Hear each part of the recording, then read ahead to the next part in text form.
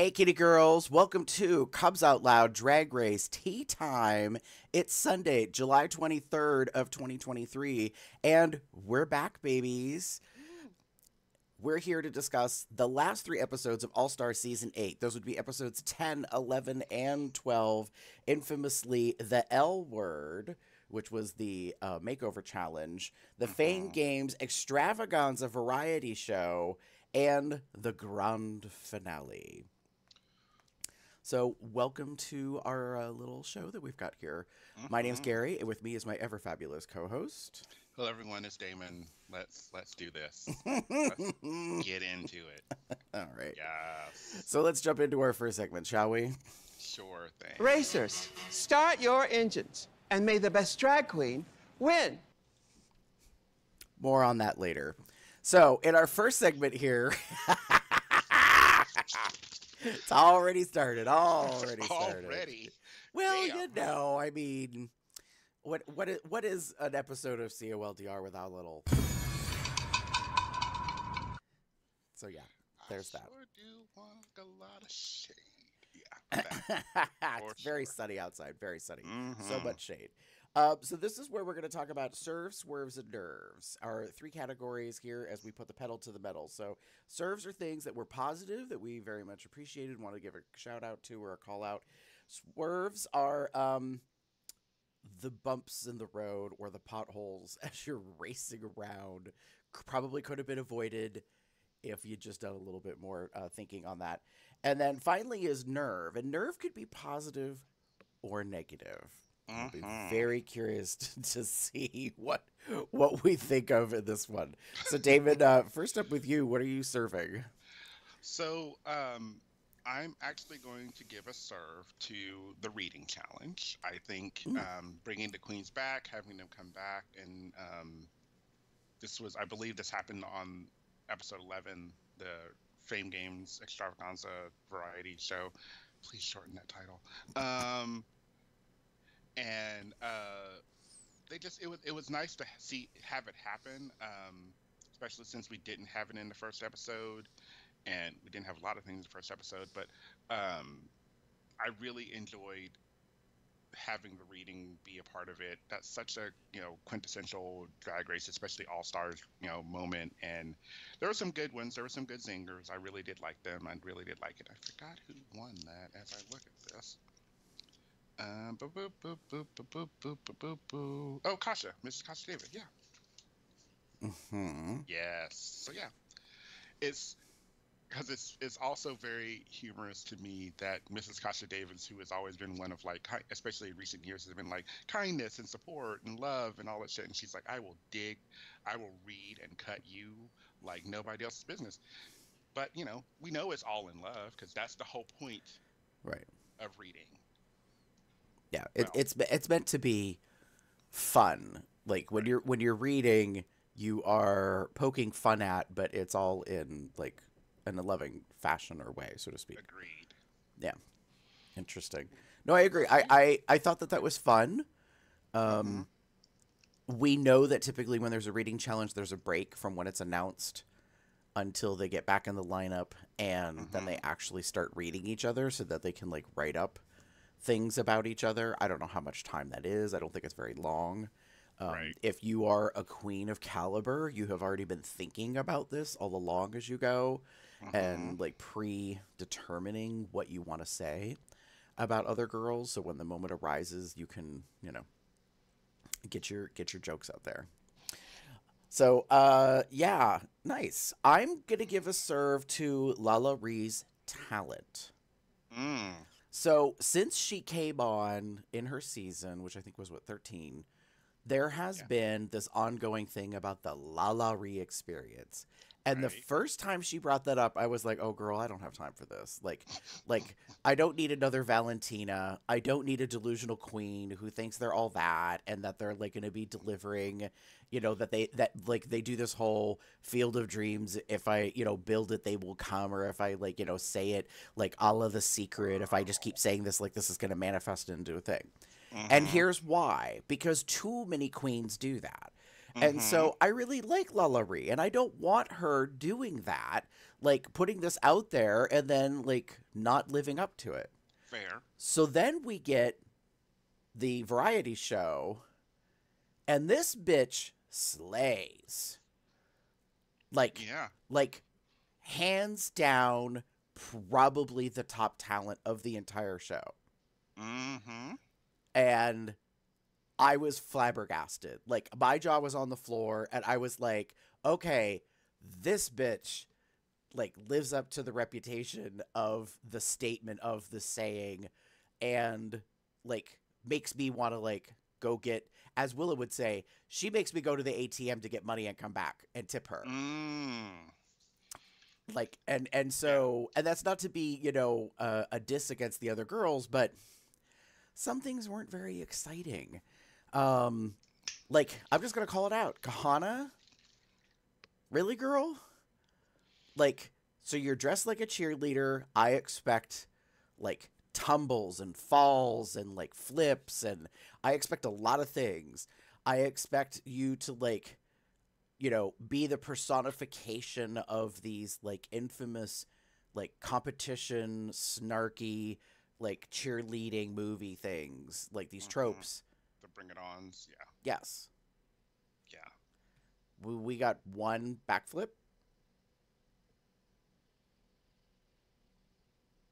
That's it. I don't have a crickets sound effect. I'm sorry. I know. Like just- I, I'm just like, that's insane. Like, and like as someone had critiqued, and I don't think it was on the show. Maybe it was somewhere else. Someone had said like, you couldn't even like come on in a tumble roll. Like it was so like like the first thing everybody spotted was the carpet on the stage, like to give you leverage so that like you're in sneakers and you're not gonna like have issues or get stuck or hurt yourself or whatever. Mm-hmm. And then at the end, like you kind of really didn't do anything, and I was like, okay. So that's that was a disappointment and boring. Anyways, um, so it, like when you, so I bring her up as an example because I feel like, uh, like it was okay. Now the weird thing is, is you kind of brought up like the the variety show is usually the first episode, like it's one of the very first things, and they didn't do it, and they saved it to the end, and boy does it show because some people probably presumed, oh, we're doing a variety show, it'll be the beginning of the season, and they didn't really necessarily take it very seriously. Unlike Jaymes Mansfield, who did a whole video and talked about the thought process that went into it and Mm. the choreography and like filmed themselves doing their choreography and explaining for the dancers ahead of time what they were going to be doing and how they had to like put a costume together to create the whole number and like to go with everything and i was like because it showed like if you put that much preparation into it it's Mhm. going to be entertaining as opposed Mhm. to just there This- the- the- I'll, I'll I'll share my thoughts here in like ten seconds. So So that being said, like Lala, like Lala was like, I know how to move, I know how to dance, and like they did her good. Like she had great backup dancers. She got on the she got on the turntable box. I mean, like, and she, she just really brought it. And it Yeah. was funny because she didn't do a whole lot of other things, like in the way of like props or gags or whatever. And not that you can't do that, but like you know, if if if you have a natural talent, then you know, put the natural talent out on the stage, and she did. So I was really really impressed, and so I thought that was a complete serve. absolutely, absolutely. So are you holding for the next segment? Yes. Okay. well, I wasn't sure. Um, so yeah, swerves. Uh, go ahead, Damon. Like, I, I see, I see what you wrote. Yeah. So um, we've got we we're just kind of just Gary was kind of talking about it, and I just want to really like bring it up. Like to me, my swerve is for the Fame Game Challenge show, Mm. and some of the things you've said made the most sense. Number one, it wasn't first. It wasn't in the beginning, so it kind of fell very weird and out of place. Um, kind of like the reading challenge. While I give kudos to the reading challenge happening, it felt very much out of place because now we've got for the reading challenge, for example, we've gotten to the point where we have the top two. So, like normally when you have the reading challenge, everyone is at the same playing field. Mm. You know, they they're just getting in, and here we go. And now we have this reading challenge where um, everyone, you know, everyone's been eliminated except for these two, and you know where you placed, et cetera, et cetera. So like it feels kind of like, again, out of place. And similar to the talent show, the main purpose of the talent show is to show your quote unquote talent and where you've come from when you were off the show, when you were on the show to now. Just trying to give an idea of what you can do. Um, a lot of diss tracks and that are it girl tracks, as I think um, Bussy calls them. Like, and I'm like, yeah, that's true. It's fair. It's what you can do. It's drag. Um, most of the times when you see a drag pageant, they're usually doing some form of lip sync and dance of some kind. So it makes sense. Like talent, you know, we'll occasionally get some things like we had the the bubbles from I think All Star Six and you know random things, stripper poles, all that stuff. Like that's fair. This one felt just kind of meh, like for me. Like Kahanna's a perfect example. Like while I appreciated the backflip, that was the juxt of it. Like all the other stuff he did was kind of what you would probably do if you were performing a number. It didn't give a it didn't give me enough of a juxtaposition between your normal performance and a this like talent performance. Um, I also agree with you 100% that it doesn't look like the queen some of the queens took it as seriously Mhm. um, are because they thought it was going to be the first thing one and done kind of moment um, you know i love monica a lot Mhm. but her number felt very flat to me um, and yeah, I don't yeah. know what it is about Monica. Like every time she's on the stage for Drag Race, mhm. she seems a little lost or confused and like and is staring at, at things I think that she's not supposed to be. Like she's distracted by the lights or the cameras or the crew or something.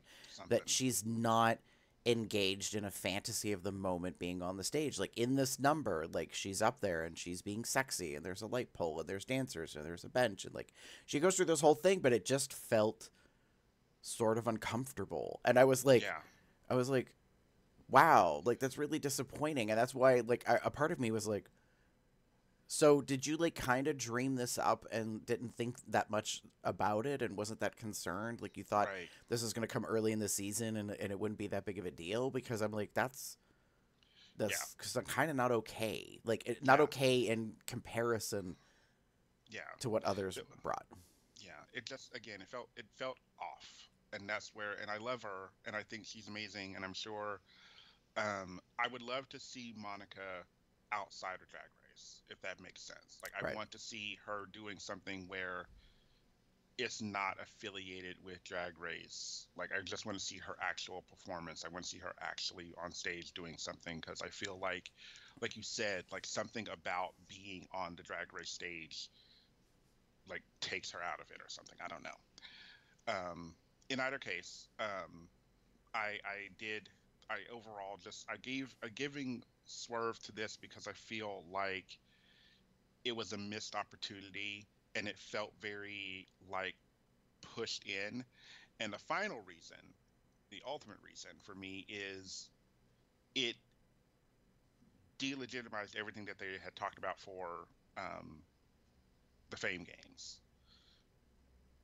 Like the whole point of the fame games was like they were going to Mm. show their number, their looks, and be promoting themselves on social media, and and that would sort of be how the audience would vote. Like that was the whole thing, and then here we are on. We have this Fame Games Variety Hour, and we have to we, we now have to show our talents that more than likely everyone was told it was probably going to be first, or something happened where it was going to be like everyone assumed that it was going to be first thing because it's always been the first thing. Right.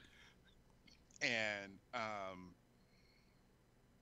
and you didn't give as much thought to it, but that now became the thing that gave you the advantage in the voting. Right. Well, I, I will say this. I agree with you that it was misleading that they made the Fame game seem to be all about what the queens presented as their looks during Untucked. Like that's when they aired those segments Mhm. and what they did on social media. What they didn't say, which might have made it a little bit more tolerable, is to say, and there's a surprise when we get to the end of the season. Right. And then people would have like understood, oh, hopefully they would understand. It is Mhm. America. That the variety show is the surprise element, like, you know, that you get another opportunity to showcase who you are, which some people did not necessarily do very well. But Mm. um yeah, so I don't know. It, it, it was a thing. It's it's there, and I think some people were well prepared, and other people just kind of did Yeah. whatever. And something to your earlier point you were making, uh, Damon, that I thought about is like because you were talking about like national competitions, so like Entertainer of the Year, Mhm, um, mhm. and those kind of things. What I realized is is like where Drag Race has a challenge or a, a problem is queens come on and I'm just gonna say it like this, and I'm not trying to be disparaging or ignorant. Queens come on and they don't have a talent. Right. They're a drag queen. They come on, they look pretty, they lip sync, they do moves, but they don't necessarily have a talent. And the Mm. reason I phrase it like that is because while lip syncing can be a talent, like it's a craft, it takes time, and you Mhm. kind of personify a number. And um, what really the variety show has be, be, has become is what do you do that's different? Because all of you are quote unquote men in dresses with painted faces. So what's the elevation? What goes above and beyond? And and so it I think that's where it's a bit of a struggle because if you don't really have anything to pull on, Mhm. and and we've seen it in previous seasons where someone's like, "Oh, I took lessons and I learned to pole dance." Okay, but girl, do you pole dance regularly, like in your number? Like, are you a Violet Chachki that does like acrobatics and Burlesque kind of gymnastics? right, right, yeah. right. Like that's different to me. That's a talent. Mhm. Um, juggling, fire breathing. You know, like like these are talents. Um, you know, and I get it. Like, not every queen can, you know, deep throat on stage. That would not get past the censors. So, but I'm just saying, like, uh, you know, a- a- and that's where I'm like, eh, like you've got Yeah. you've got to bring something else. And if you don't have any of that, then you kind of look lackluster compared to queens who Mhm. come and do a thing. So, like, speaking of the variety show, like the fact that Kandy Muse and Jimbo did their performances and on top of hosting was an interesting choice to me because I felt it Mhm. wasn't necessary. It wasn't necessary. Like, And I'm not- yet, and yet, Jimbo like really delivered in classic Jimbo style, right? And like and and, and like put a whole thing together that was just ridiculous yeah. and stupid and funny. Like it was the it was classic Jimbo, and you know, and so. uh, You know, Yeah, like I, I again, like, appreciated I- Jimbo's. I didn't like Kandy's, but there's no surprise. Anyways, yeah like that that's that's the thing and that's sort of where again this felt again i feel like either they were told which we we know how it is production bullshit that like oh we're doing a talent show and this is going to be like the opening you know first thing kind of thing. Or they assumed it was going to be the first thing. So Mhm. everyone made something. I'm sure if we if we can talk to heidi she will indicate like what her talent was going to be. Um, and then you got there and we had this money, success, fame, glamour bullshit um, uh, moment, and uh, the queens were like, "Oh, okay, well, fine. I guess I'll put this over here and then right? whatever." It just, yeah, it, it, it. Again, this is why I gave it the swerve, because it feels like it was just like afterthought or something along those lines. Yeah, I think that's fair. Speaking of afterthoughts, Um, okay, so I have two things that are swerve for me. Uh, the first one is Jessica not connecting with Lisa. So this is in the L word. This is in episode 10. This is the makeover challenge. hmm Infamously, when we have the makeovers, there's always this like kind of drama about a queen not connecting with their client. Mm-hmm. Mm-hmm. um, and it just not really working out. And it was interesting to me that like Jimbo and Kandy had really good connections with their with their clients, and that Jessica didn't. And I kind of felt like that was Jessica's doing. Yeah. Like like sense. well we can say that production did some fuckery and like picked a timid personality of Mhm. a of a participant like you just really seem to not be engaging in Right. a way that I think would have benefited better. Yeah. Um, yeah, and and I, I I feel that I can see that it felt very off to me that we have wild, vibrant Jessica and Lisa, this quiet, like very I, I hate using this word, but plain, like Jane kind of like um lesbian. And it was like and again, like it, it she came out of her shell little by little, but I don't think it it happened in Right. like the way that you would think it is. Like compa- in comparison, and I hate comparing Kandy to this, but like where Cookie, I forget her real name. It's probably on my note somewhere. I want to say Abby, Uh, Abigail. I don't know. That's right. Was it Angie? Angie. Yes, yes, yes. Angie. Angie. Sorry. Um, can't read my own writing. Um, um, where Angie very much came out of her shell in in in a sense. Like we had this whole storyline of her being afraid of her showing this femininity, like disavowing her her butchness and um, Kandy in you know informing that she has a um, butch you know lesbian mother and like they had that really good connection and i kind of like I, I appreciated it but you had this moment where you clearly saw the evolution and um, growth of cookie coming out of her shell and being more Right. you know fun and and and i do know um just because i watch a lot of youtube i will own that um, there's drag race tea with matt um, they have a drag um, they do a lot of like um, reviews of the Roscoe's viewing party and kind of breaking stuff down and providing additional details.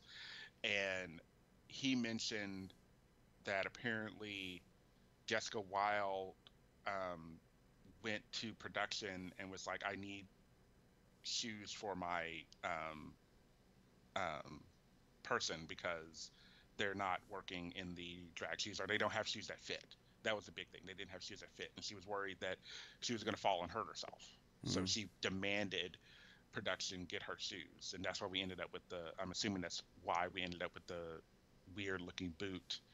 Um, and they even pointed it out, which I felt was again awkward.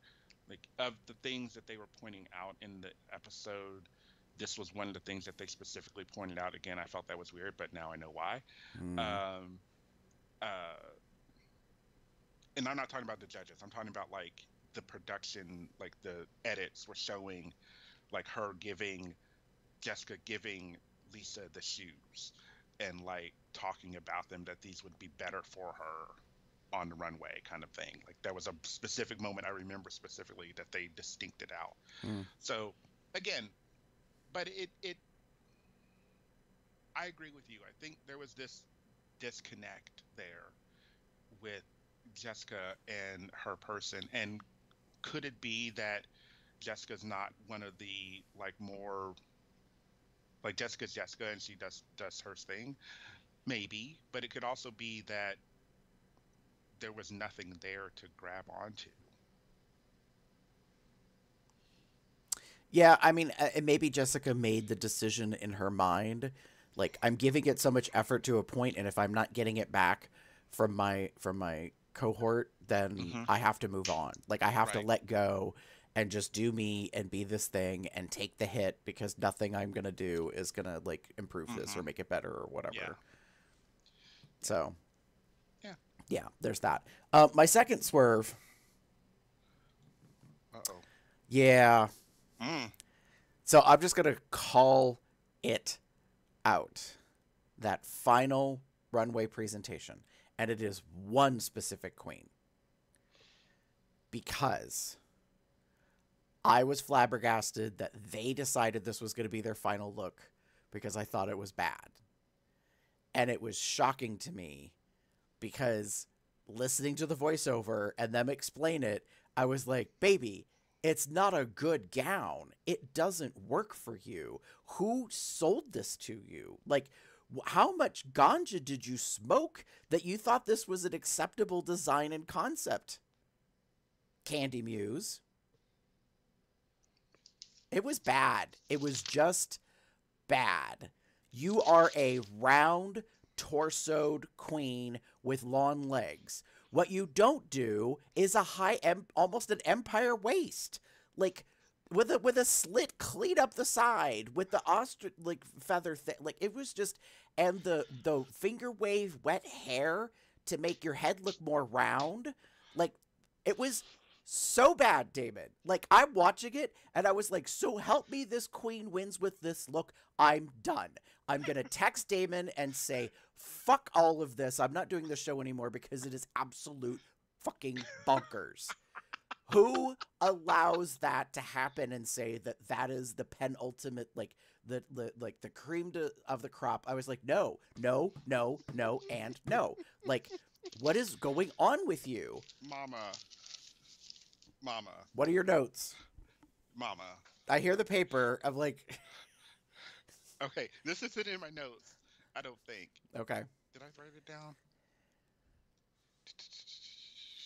No, that's no. Um. So Jim and I are watching this. So Jim does costuming, so right, so Right. He he knows his shit. He knows this stuff. I had to pause the the TV, mm-hmm, the Paramount Plus like stream because I had some words about this look. mm-hmm. This was garbage. Mama, this is garbage. Yes. Okay. One hundred percent. Okay. So I and I had to like I'm sitting here and I got mad because I was explaining this, and he kind of agreed with me. He had pointed some stuff out. Um, that you, you are absolutely right. That high waist bullshit. No, that's that's a no. Like you Right. shouldn't do that when you are a round girl, and you don't wear body. Like your body is your body, and that's fair. That's whatever. But you don't have you don't have anything that's giving this any shape Right. whatsoever. Right. Um, this color does not look good on you. I, I, you said you were yellow in, um, the lucky, and maybe you did, but I thought it was more orange. But whatever. It, Mm. no, that was you did wear yellow. It was Simone that wore orange. Anyway, but again, like it just it it didn't look good on you. That ostrich feather like bottom that just looks it doesn't didn't do anything at all to help the shape of this dress. Um, the bodice looked terrible. It was this weird scrappy like what's going on. Um, and to top it all off, I love you, Kandy. You are a bit. You are a big girl, and you have a big head. You need a big wig to make this all work. Mm-hmm. And this finger wave, dark-haired wig that's very close to your head. This, it's. I. It, I wouldn't call it a, a kitty cat wig, but it was definitely very close. Um, and to top it all off, you put this itty bitty fascinator like in the corner here, and it just felt very just it just looked it looked terrible. It just looked bad, and I I hated it. I hated it. I hated it. And for this to be your final look that we see you in, well, not really. We see you in the Right.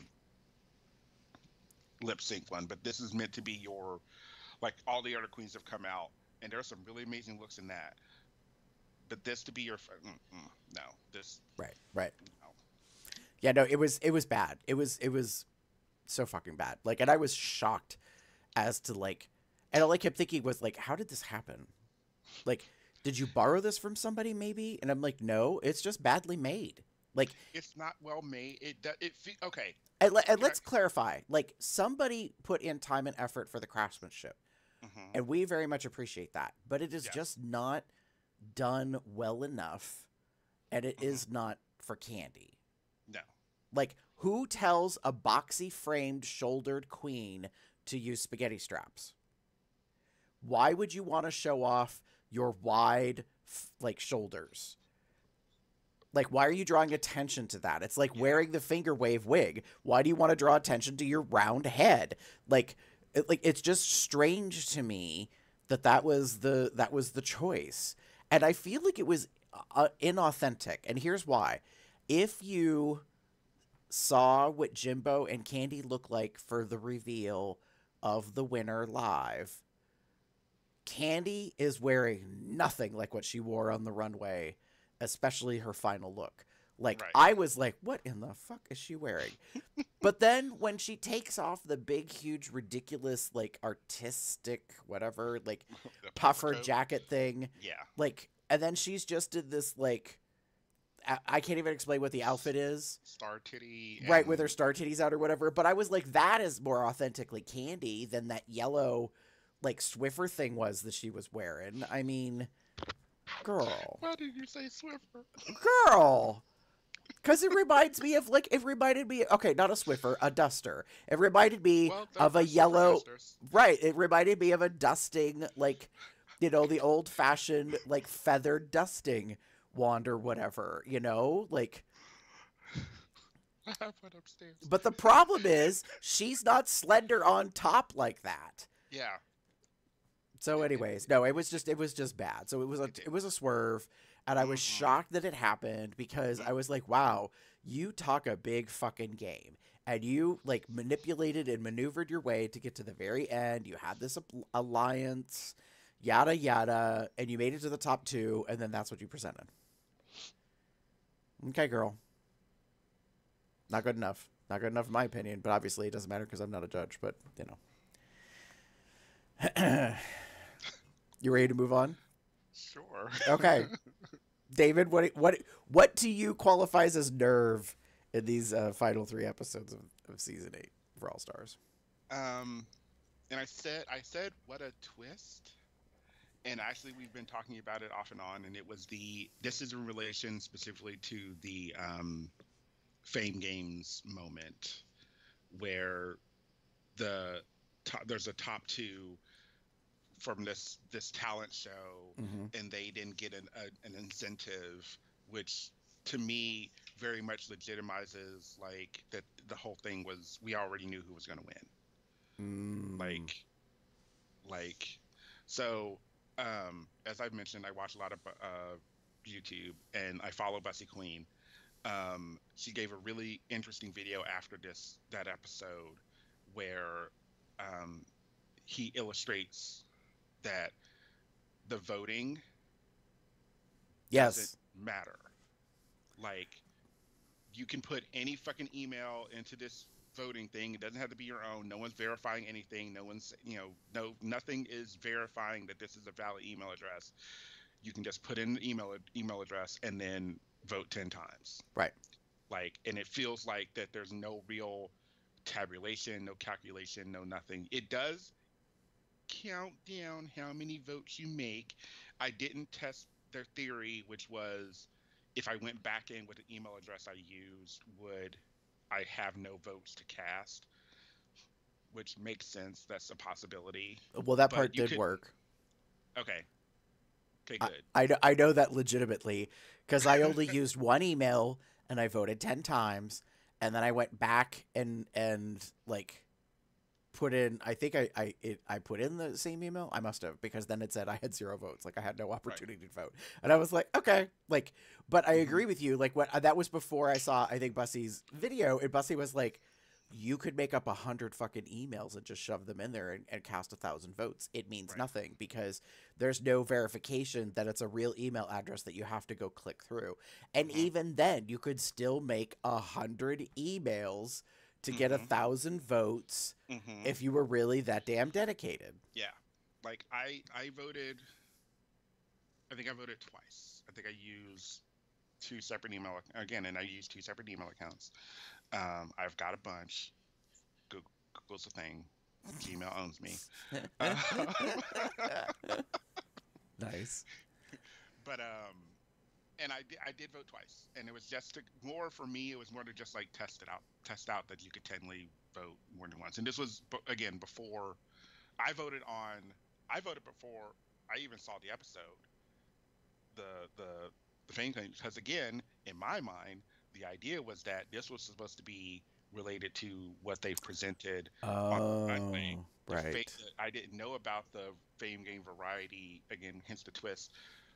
The the the variety show being like, and you get this extra morning. Okay, well that's that's nice. Um, but whatever, it doesn't matter. Again, it felt like to me that none of this mattered. They already knew who was going to get the crown. It was just a matter of them saying it because you got to realize something. And again, this is me like going into production mode they've pre-filmed this. So unless they filmed nine queens winning the the Fame Games crown, Right. or filmed it nine times, um, we we- we already knew who won. Like, Well, and I mean, is it possible? I think it's possible. Yeah. I, I think I think both things are possible. I think they knew who they expected to win, and I think they filmed all nine just to cover their asses. I'm waiting for any queens to confirm it. Yeah. I'm waiting for that to come about, like to be leaked on Reddit or some shit that there were nine like crowns or nine scepters handed out or whatever. Because I think that would make the most logistical sense is to just like everybody gets the same opportunity so no one truly knows until it airs who won. Mm-hmm. Um, they're all winners, quote unquote. You just are waiting for the official announcement, and then you get the extra sixty thousand. Um, yeah, I, I, I don't know. I, I, but I also think they knew going into it, most likely, Jessica, Jaymes, Lala Ri were gonna be the queens that were gonna get the most votes because there was all this speculation about how like Jessica was a was a front runner because she lasted the longest. Mm-hmm. And so since she was theoretically in third, she was going to have that much support going into it because everybody did get to see all of her outfits plus her throughout the entire competition. Fair. So yeah, like I like I was kind of surprised Yeah. It was in, in when- how it played out a little bit. It was it was one of the things that did bother me as well when they we were in Untucked and we ran through like all the Queen's looks, but we didn't see any of Jessica's because technically we as the audience had already seen it. right. We don't know if the Queens got to see them. Meaning, like the in that video that they showed them, did they actually show Jessica's looks? Because she was technically part of the Fame Games. Right. Yeah, I don't know. That was that was intriguing to me. And then I did appreciate when all the queens were together in the workroom that they showed them, at least we think they did, a video of all the the previous Yeah. like stuff. hmm So I appreciate I appreciated that each other that all the all of the sisters quote unquote got to see each other's things Right. um before it actually aired. Right. So yeah.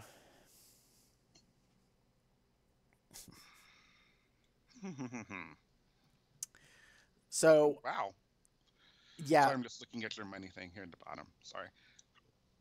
Oh yeah, that. Uh, we'll, we'll t- I'm sure we'll talk about that. We'll talk about that in a minute. Yeah. So um, yeah, for me, I'm giving nerve to production teeing up Kandy as a host. All season long, they were making her the mic girl. They were making her the one that like drove conversation um, on a lot of fronts. And the when I wrote this, I think I wrote this because of episode 11, maybe. I can't quite remember, but Variety. yeah, like there was something about like just the way things were going, and, and a lot of it was like in the workroom. Mm. And, and so I was just like, wow, they are totally making it her show. And I get that like she's good TV, quote unquote entertainment, but I was like, really? Really? We're just gonna like just hand it to her. Mm-hmm. Oh. I'm like I'm hearing noises. I'm like, what the hell's going on? It's just paper falling. Um But no, I'm like, is anybody in my home? They shouldn't be because I'm alone. Uh, so yeah, no, it was. Um, I don't know. It was, it was interesting. I, I, I personally wasn't a fan, Yeah. but I'm sure there's a lot of the cutting room floor that we haven't seen. mm-hmm. So there's a, there's a high probability that like, you know there's other things that were happening. I don't know. So yeah, that was my nerve. You ready to move on? Yes, let's. Okay.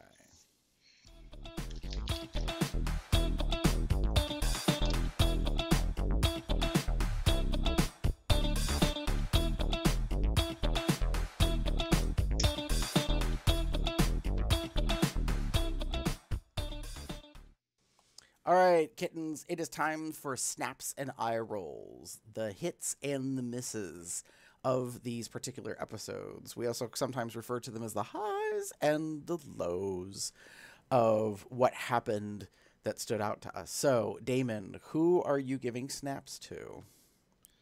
Oh my. Um. Oh, this is kind of fun. Yeah, I need you to explain this first part. What showing time has passed? yes. Um. The beards. oh, Beards. All yes. the beards. Yes, yes, yes.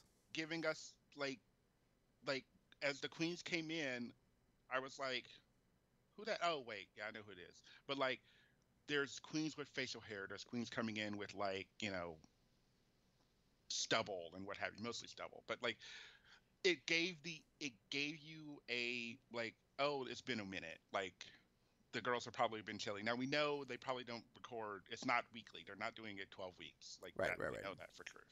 Probably at the most maybe two or two, two not two weeks, maybe two months, six to eight weeks. I would assume, maybe more.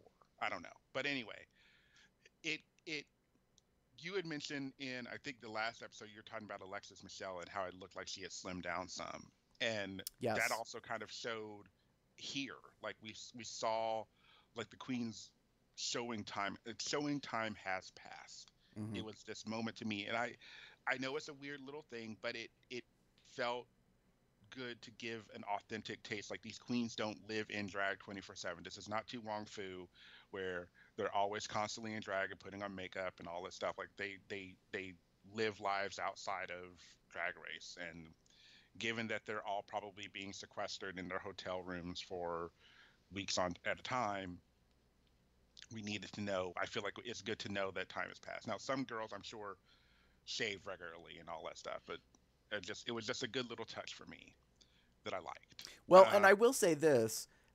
Um, I feel like if you shave regularly, especially if you're in this competition, and then you Mhm. don't have to shave, Yeah. mama, why would you? Like, Right? like screw that noise. Like, oh, I, I'm not doing drag for like four, five, six, seven days or more. Like, I'm, I'm not, I'm Give- not, I'm not shaving. End of story. Give my face some time to breathe or whatever. Like, right, right. Absolutely. Um, I just really like that. Um, and then finally, um, this is Kasha Davis. I love you.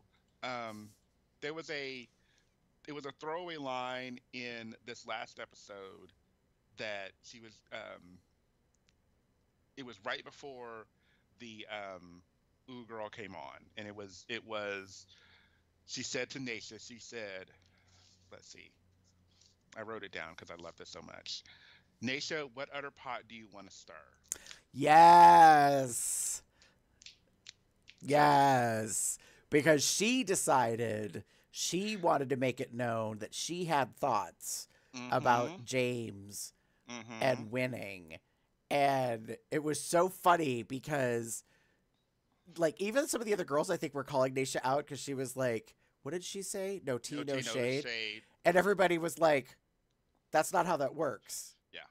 Like, no tea, no shade, but here's a bunch of shady tea. Like,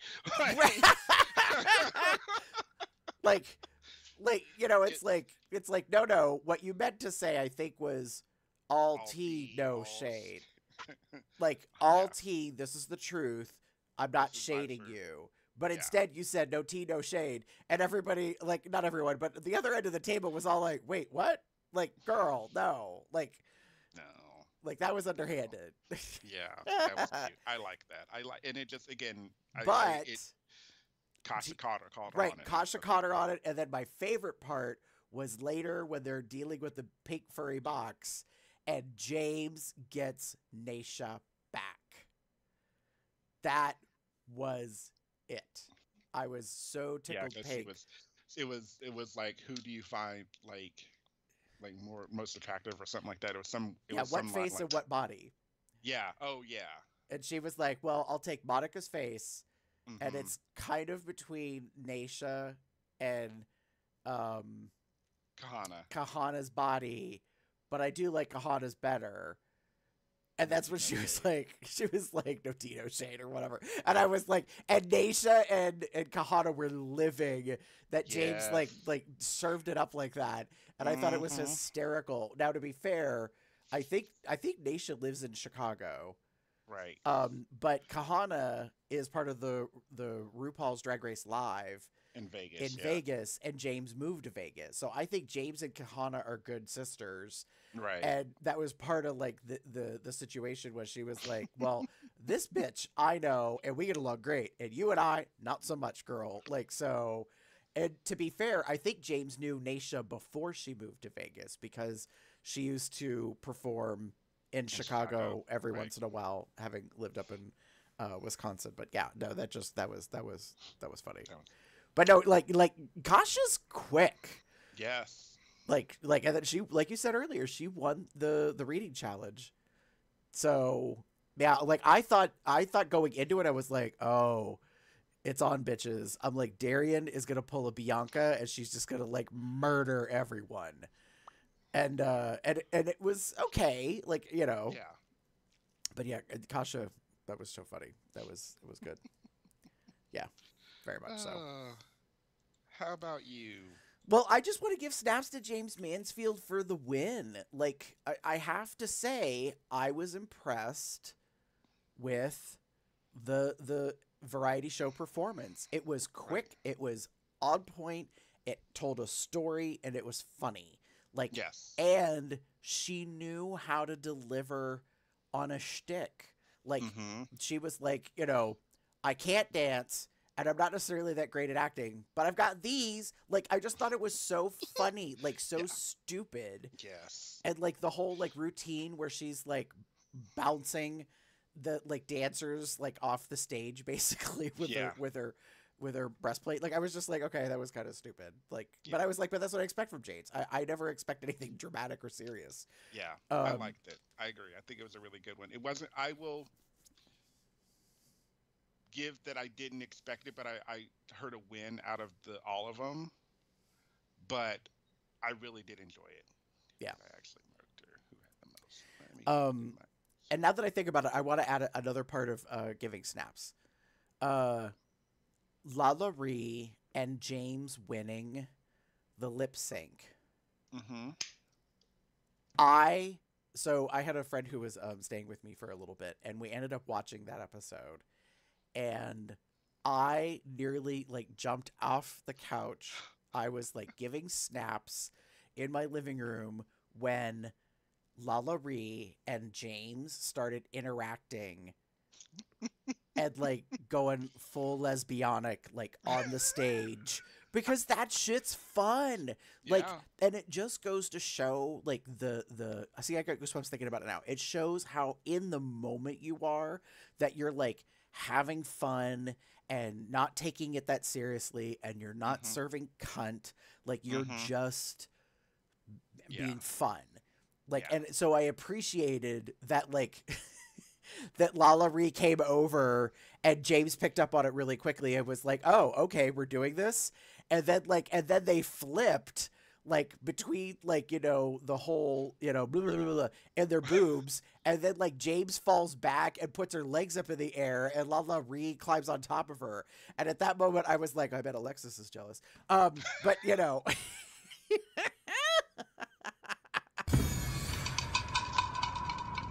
Just saying just saying Oh.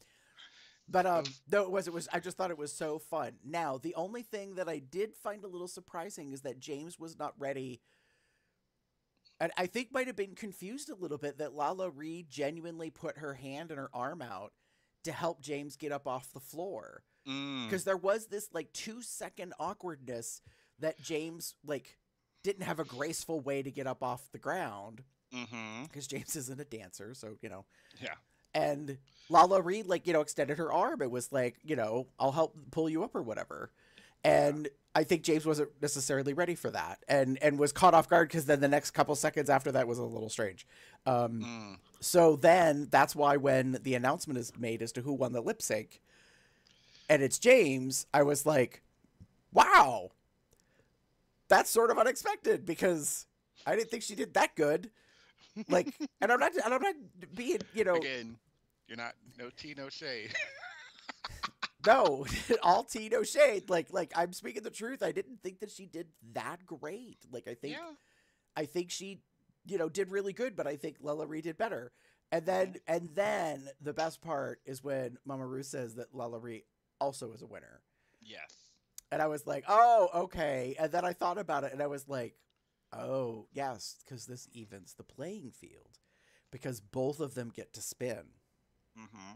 So it's not one queen with extra advantage. No, it's two queens with the extra advantage. Now, the only thing I kind of wished, and I do think it's highly subjective, the manipulation aspect of the wheel. Um, because as everyone's been kind of talking about, they're like, who the hell was behind the wheel? Like, you know, like how realistic is the wheel? Because guess what the wheel isn't? It's not clear plexiglass. It's not clear acrylic. You can't see behind it. So, anyways, um, I kind of wished Lala Ri had gotten two times because Mm, that would have made it more competitive mm, in terms of the voting. Because right. then it would have been even that Jaymes and Lala Ri both had the same amount of multiplier going into it. Right. And I'm not saying that Jaymes would have won. I'm just saying like that to me would have been more legitimate. Just like giving it like a yeah. I get what you mean. I get what you mean. So, anyways, yeah. So, but no, Jaymes Mansfield uh, for the talent win. I thought, I thought it was smart. I thought it was well done, and like, I, I think it was thought out. Like, this is what I need to do to to, to get through. Um, and and I was very pleased that you know Jaymes had won. I don't expect Jaymes to ever be a crowned queen. And and there's nothing wrong with that. I just um unless things change and I- and I think it's a personality thing, I don't know if that would happen. Because Jaymes's character is so kind of goofy and and fun. Um I don't see the the the person behind the persona taking things so seriously like in a pageant way that they would like really Right. go go in a super serious direction or something. But yeah. Yeah. So that being said, uh, Damon, what are you giving eye rolls to? I, I need you to explain this because I read the words, but I'm not quite sure what you're getting at. So production done fucked up Drag Race. Okay. calling it what it is. It it's a call to Miss Jasmine Masters. Like you know, we about Drag Race done fucked up drag. RuPaul production has done fucked up Drag Race, and this is kind of in relation. We've talked about it, you know, throughout these past like four episodes, and this season felt uber produced Mm. Okay. like uber produced to the point where we had two queens essentially going to walk away from the whole fucking thing. We had one that actually did, but we had you know two queens that were thinking about just walking away. This it just felt so weird to me this season overall, and this is why I'm kind of giving eye rolls to it all because it feels very much like a what the fuck is going on here kind of feeling. It just feels very like excuse me why it again it felt like production had its hand in like everything Right. um and uh i follow a a um youtuber named um kayla and i probably will show a link to the video but she kind of breaks a lot of this down Um, spoiler alert: um, this was Jimbo season to win, and um, production made that very clear. And while we had Kandy and she made it to you know second place, um, and we were just talking last week with Ed and how like we would we would be really upset if um, Kandy won. I know why we would have been upset because that's not the narrative we have been given. If that makes sense. Um, Kandy has been Kandy has been the like the talking head. Kandy has been she's good TV. Kandy is is all of those those things. But what Kandy hasn't been is a title holder. Because your title holder essentially becomes your like ambassador or what have you, and that sort of means that Kandy, who has been given this narrative of being a little um, cunty, um, is now your your winner. She's going into Hall of Fame and all that stuff, and that feels very weird. Um, Hmm. So it wouldn't have made sense, especially considering put them side by side, you know, show wise. While Jimbo isn't the greatest lip syncer, Jimbo is still was still winning all the things. Um, and that's where it feels very awkward. And one of the things that Kayla mentioned that is hitting home for me is this was a really weird season casting wise. Um, we didn't, other than Kandy, we didn't have, I don't think, any really top like place winners in their seasons. Um, yeah, Darienne. oh yeah, sorry, I'm just, I was there was someone else. I knew there was someone else.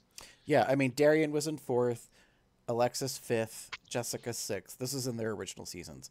Uh, Right. Jimbo was fourth in Canada. Heidi was sixth.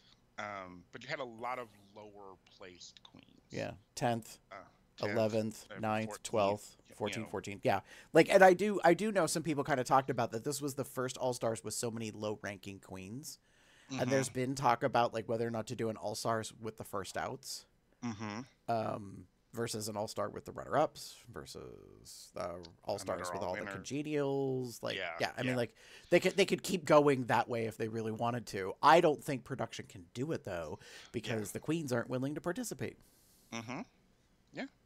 So yeah, Yeah. It, it, it becomes very interesting to me. And again, like again, this has become like this overall feeling in regards to Drag Race is that it you know it's very produced. Production has kind of made this into the reality show that it is. You know, um, forced drama, situations that would you don't think would ever really play out um, if this was reality. Mhm. You know that kind of thing, and you know we had to show like we had to show Jimbo stumbling in some ways to make her more relatable and endearing to the audience. We had to show um, we had to show her being you know capable of getting through things and not being the powerhouse talent that she is so that we would relate to her on a personal level that she wasn't inhuman as it were in regards to what she does um, and with Kandy on the flip of that we had to show someone we had to have someone kind of be and this is going to sound terrible we had to have someone be the scapegoat they had to be the second place someone had to be second place um, and why not for the sake of production and having someone that is controversial and gives good TV, why don't we have them kind of make their way through somehow? And we we get that they Jimbo and Kandy knew each other prior to this All Star season and had met on tour and what have you, and that's great. So we had this opportunity for them to make an alliance, and that happened. And we now had this moment where they made to the end, so that's great. I think again, I feel like um, production made a mess of this season to the point where it was very just like, eh, and I'm not faulting, and I love Jimbo, and congratulations on your win, but and it's you're the first international, you know, winner of the U.S. season, and that's great. But we technically just had that with um, Ra'Jah winning Canada, or, or you, was it Canada versus the world? Did she win? Ra'Jah won. Ra'Jah O'Hara? Yeah, Ra'Jah O'Hara. I don't know because I didn't watch it, but that could be. Well, I think she was announced as that. Oh. Gosh darn it. Give me a second. There she is. Ra'Jah O'Hara. She was crowned the first ever winner of the International All Stars spin-off Canada's Drag Race. So she was Canada versus World. So she did win Canada versus World. I knew she had won. Hmm. Because that was when she came back for her lip sync assassin moment in this season. They mentioned that. Interesting. That's that's how I remembered it because I I also didn't watch it. I just remembered that line and being like, oh, nice. Yeah. Yeah. Anywho. So, I mean, I hear you on the point that, you know, production really kind of stepped in it in various ways. Um, I'm just going to say this in response. I feel it was totally possible for Kandy to be given the crown, and it would have been a disservice because I think Jimbo is more talented. There's no that- lie there. That's that's all there is to say about that. Mhm. Um, so I did not see it as a guarantee that Jimbo was going to win. Mm. like while we may have been fed the storyline and all this kind of stuff and I, I think the bigger point that you make that is interesting to me is that Kandy does not necessarily give us the representation of the brand that would be Mhm. needed because she does kind of pop off and is so um, antagonizing that that could kind of tarnish things a little bit or become problematic. So I find that interesting as a concept. Uh, but yeah, that that's that. Um, so I will say this uh, in terms of what I'm giving an eye roll for. Um, Jimbo not preparing for a big girl. It really bothers me that the way it was shown was that Mhm. Jimbo wasn't ready for a, a potential queen of size. Now, I'd heard rumor that Jimbo did come with extra panels so Mhm. that the the torso quote unquote corset type piece of the the f- like freaky kind of mouse outfit, the clowny Mhm. thing that she really wanted Amanda to wear um would have worked in a way Mhm. but I just don't I didn't see that and I don't know how to feel about it Right. of of Kandy and Jimbo Kandy was prepared. Kandy had a baby doll dress that had like no shape to it like Mhm. had two of them and it kind of showed because uh I forgot her name uh Angie. Angie the dress didn't quite fit her well and that was i think a little bit of a criticism from the judges that like the dress could have fit just a little bit better Mhm. on angie and i wondered about that i was like how could you make that work a little bit better because it seems to have been like just pre-done like pre-styled ready to go and so you Mhm. really kind of took a risk Yeah. in who is going to fit into could- it Again, it could that dress could have worked on most people. right um, and I don't know if you got if one or the other was a size large, size or two larger than Kandy for the sake of making it.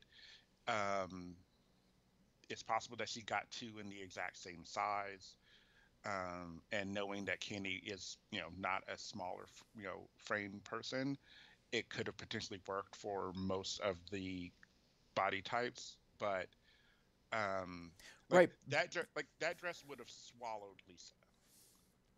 Like as an example, true like the smaller girl, I don't think it would have necessarily fit Amanda. Um, I think it would have may have may have been a little snug on Amanda. like the dress that amanda wore fit her anyways No, I'm just I'm. I mean, let's be realistic. Jimbo put her in a sparkly black dress backwards, and it still didn't necessarily work. So, anyways, yeah, I'm just saying, like, like, girl, there was a zipper up the front. It was just, it was embarrassing. Like, I just, I, I, I was like, okay, this is like, the, if there was an episode that Jimbo could lose, that was it. Because I was like, wow. Well, Luckily, the makeup and the hair worked, but the outfit not so much, and that was the critique. it just it just agreed absolutely. I yeah, like that was that was that was that was a mm, that was a choice, and I agree. I don't think I don't know, and again, like the part that bothers me the most that we don't normally see is sometimes they give them time to potentially make something. Right. Is it always successful? No, but like it it. I'm surprised that they didn't show because Jimbo can sew. Like we saw this. Like Jimbo I knows how to sew. So like why didn't and again maybe I like don't. said, I- don't think they had the time. That was the shitty thing is that the queens came with prepared looks, knowing there was a makeover challenge, and it's just unfortunate that I think Jimbo wasn't prepared. For a larger frame. And I just phrase it that way because that's the way it was construed. I've, like I said, I've I've heard that Jimbo did have the ability to fit Amanda into the other outfit better, Mhm. but Amanda wasn't into that. Mhm. So Yeah. And that's fair. yeah, It does take a certain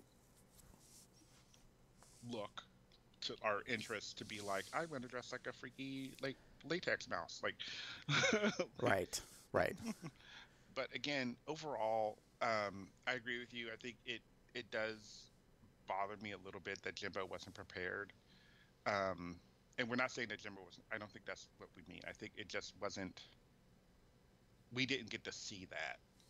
Like, Right, Again, it- if, it- if if there had been like, I have this outfit for you and we'll make it fit. Like how- that's what it sounded like she said.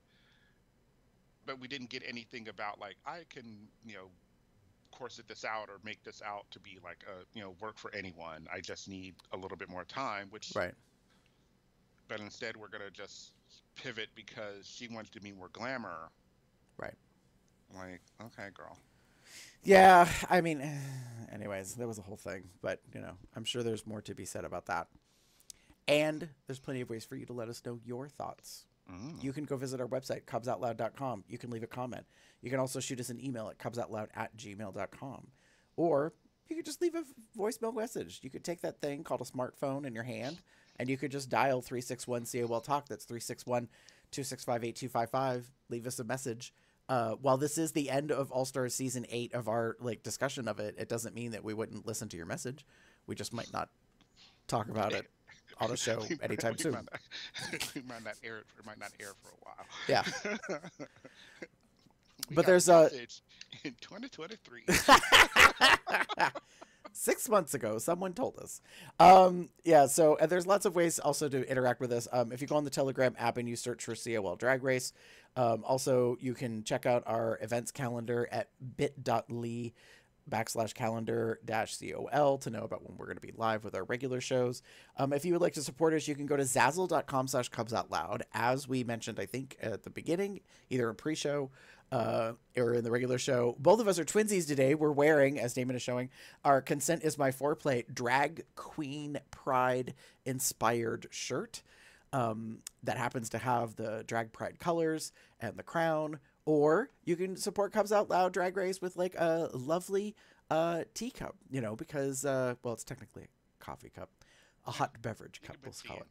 Yeah, you could you could sip all the tea you want from there, um, as well as other items that you can find at zazzle.com/slash Cubs Out Loud. Uh, that's available. You can also become a patron at patreon.com/slash Cubs Out Loud for a dollar or more a month. Um, and you get uh, exclusive bonus items depending on the tier that you pick in there. You could also just give us a tip. We would gladly take a one-time donation. Go to paypal.me slash cubs out loud uh, to be supportive of us and uh, help keep the lights on, as we say. if you would like to find us on uh, podcast, you can pretty much go anywhere that you download your podcast. Cubs Out Loud Drag Race is its own podcast feed um, for its own playlist, so you can find it there. Damon, if people want to get in touch with you, where would they find you? If you wish to get in touch with me, you can find me as Theatre Cub 79. That's T H E A T R E C U B 79. On uh, most bear related sites are on Facebook. Or you can find me as Pump underscore Umbra on Twitter. That Twitter is definitely not safe for work. I implore you, don't look at it at work. Please don't. Just don't. Well, just know that Damon's not responsible for you getting fired and HR having to like write you up. But anyways, Mm-hmm, just mm-hmm, say it. Mm-hmm. if you would like to get in touch with me, you can pretty much find me anywhere online as Gamber73. I do have a Twitter account for as long as Twitter continues to exist. I mean, it is a flaming ball of poo right now. Um, it's uh, Gamber73 Drag, where is, it's pretty much where I've sequestered all the things that are related to the drag entertainment industry to follow on there. Um, but yeah, so that's pretty much it. And uh, who knows when the next season will be? If if past as prologue will be back, I guess the beginning of next year, um, Mhm. when there's a new U.S. based season. Uh, but time will tell what that looks like. So uh, until then, thanks for following us, kittens, and we'll be in touch. Bye.